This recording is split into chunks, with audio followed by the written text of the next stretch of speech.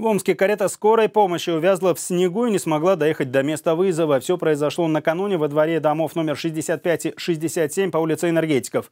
Вырвать автомобили из плена стихии не смогли даже подоспевшие на выручку прохожие. Местные жители утверждают, что они давно не могут пройти по собственному двору спокойно. Ежедневно здесь застревают десятки автомобилей. Управляющая компания лишь обещает предоставить трактор, но для очистки двора так ничего и не делает. Кстати, с сегодняшнего дня на помощь омским коммунальщикам а, пришли сельские дорожно-ремонтные и строительные управления. Уже сформированы бригады, которые начали вывозить снег из частного сектора. За пять дней они очистят 34 улицы, которые весной может затопить.